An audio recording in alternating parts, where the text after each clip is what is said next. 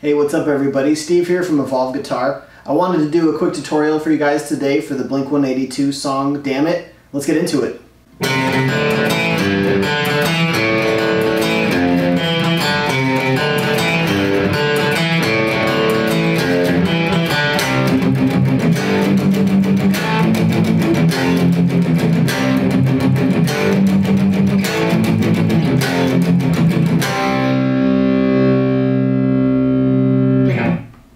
So the main riff of this song is based on a four chord pattern. The first chord in this pattern is the C chord.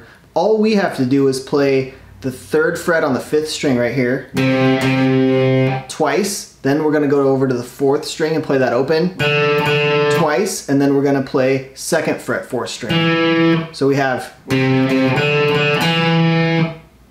the second chord in this pattern is the G chord. But all we have to do is play this note, the sixth string, third fret. Everything else we're gonna play is the same as the other chord that we just did. So it's going to be fourth string open, and then second fret, fourth string. So we have, now going from the beginning, we have, okay, the next chord in this pattern is based on A minor, but all we have to do is play the fifth string open twice, and then the rest of it is the same as the other chords we just did. Open fourth string, and then second fret. So, so now the whole thing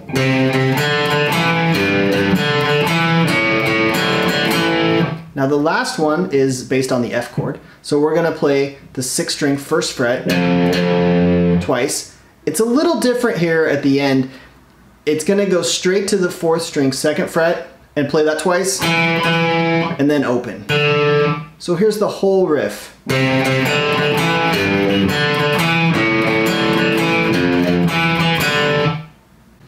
Okay, the verse section of this song is actually based on the same four chords.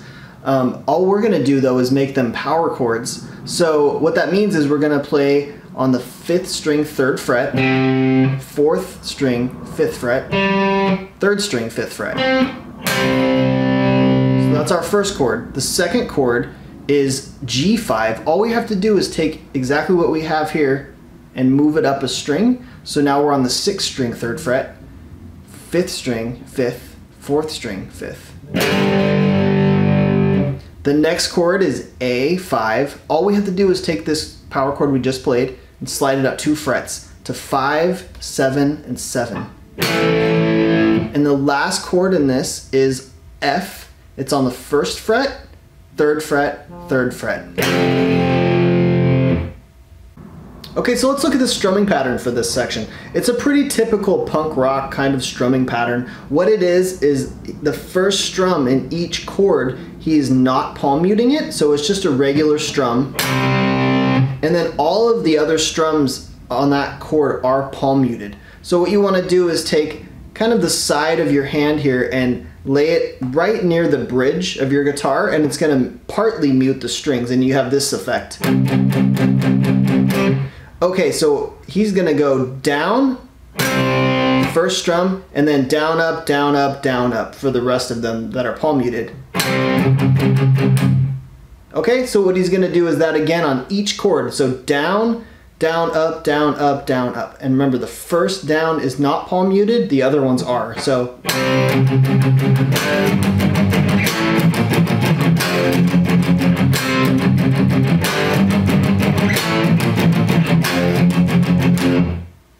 Okay, now the chorus of this song is almost exactly the same as the verse. The only two differences are number one, we're not going to palm mute at all now. And number two, the pattern is going to be twice as long as it was. So as before, we were playing down, down, up, down, up, down, up. So now we're going to do that two times on each chord. And there's no palm mute. So down, down, up, down, up, down, up like that on each chord.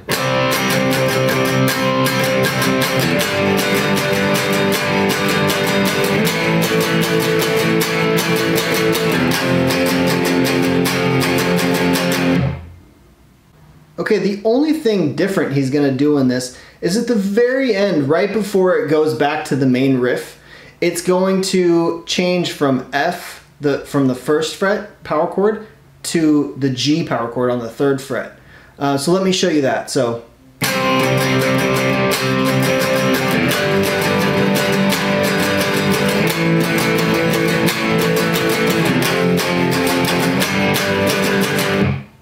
Okay, so let me show you the bridge section of this song. Uh, what we're gonna do is I turned on a flanger so we can get this kind of effect. And basically it's outlining a C chord again, but all we need to do is play the first string open, the first fret on the second string, and the third string open. So. Then next, we're gonna go to the third fret on the second string and play that. First string open, and then second string first fret. So the whole thing. And then that first little section again, which is open, second string first fret, third string open. And then last, it's gonna go back to that third fret, second string, first string open, and then first fret, second string, and it's gonna do that again. Third fret, second string, first string open, first fret, second string. So that whole thing.